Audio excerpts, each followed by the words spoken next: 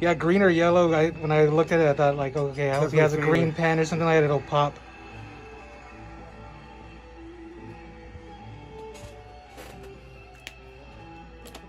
Very cool. Thank you, my friend. Thank you so much. I was able to add another signed Funko Pop to my autographed Funko Pop collection. This one is a Star Wars pop, obviously, and uh, it's one of the more um, off-the-wall type um, signatures I've had, especially from a Star Wars movie where it's not like one of the lead actors. This one was a signing here locally that Stephen Constantino was doing, uh, meet and greet, and he plays the Gamorrean guard in Return of the Jedi. Um, obviously, if you've seen the movie, which I imagine most have, um, he's one of Jabba's guards out there in Tatooine. Um, I think several actors, from what I researched, um, wore the suit and played that character. Um, he specifically played him in the scene where he was on top of the floating barge, and he explained to me that his um, claim to fame was that he was killed by Luke Skywalker. So we had one of those uh, quick scenes, uh, quick death. Um, he was only in this film, um, but anything from the original, like Star Wars trilogy, is iconic. Um, even from the main characters down to to the not so main characters, but you know, you see this guy, you remember it from Star Wars. Um, we just never always think about who was in the suit during those scenes. So they had this uh, signing meet and greet going on here at Asylum Records. Um, he wasn't charging too much for his autograph, so I wanted to add another piece to my autograph collection. Um, and what made makes sometimes meeting guys that aren't super super famous but they you know did work in movies that we like love and and cherish and grew up watching is that when they do these types of events they will sit there and they talk to you you don't feel rushed uh, you can get a photo with them uh, get your pop signed item signed and you can ask them a bunch of questions and they'll entertain you with the answers and you might walk away with some information that you didn't know before um, so I'm going to include some of what I asked him um, at the end of this uh, video. But this is a cool piece to add to the rest of the collection that I have with signed pops. I want to keep adding more to the Star Wars universe.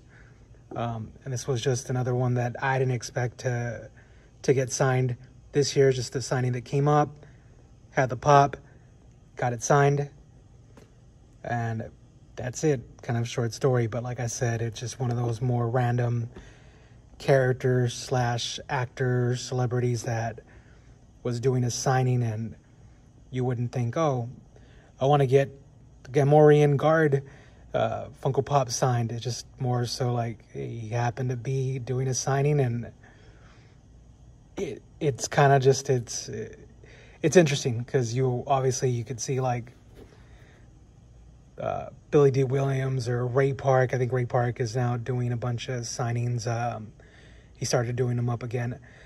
Those are just more common appearances. This one was just like I didn't expect to see it, and I didn't expect this character from Star Wars um, to be something that I would get signed or or would meet the actor who was in the suit. So super cool uh, little story there. Thank you.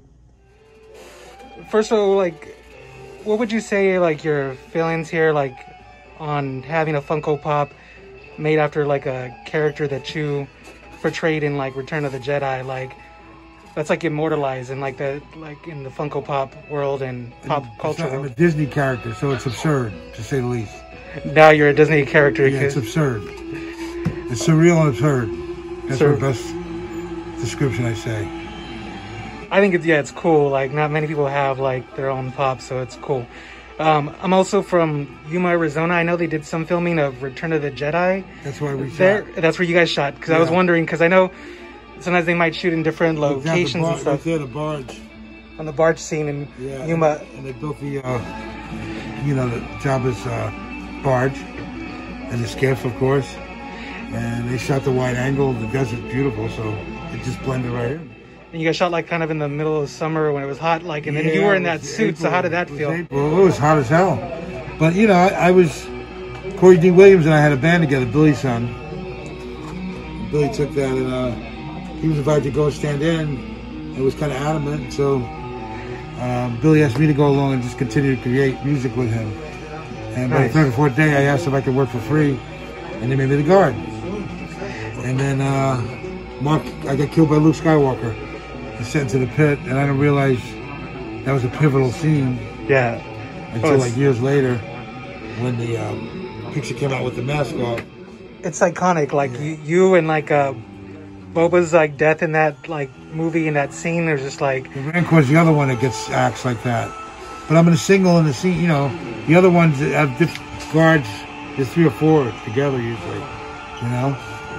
Well, I guess there's nine altogether. yeah. Yeah. Yeah, as soon as I heard about that, and I got to meet uh, Phoenix, uh, Phoenix Fan Fusion, Billy Dee Williams was there, so Yeah. I got to get my other pop sign. So it just, for me, is like somebody who grew up watching all these movies. It's super cool to to eventually get to meet you guys, and then like for something like Funko Pops that I like to collect, like it's like both worlds uh, kind of colliding and stuff. So it's like super Yeah, and, cool. and, and, and, and, you know, a lot of people get that and have Corey sign it as well.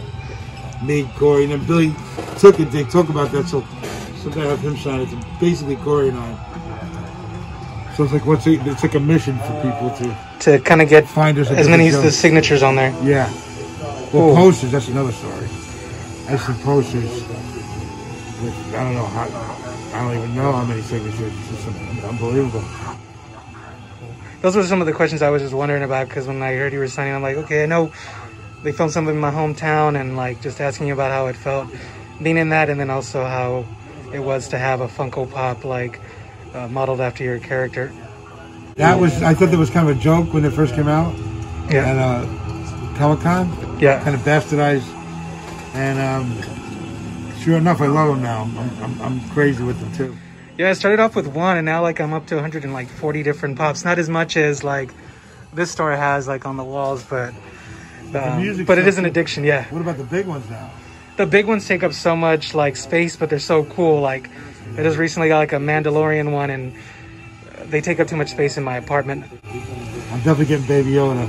And what do you do for Telemundo? I work for Telemundo as a technical director.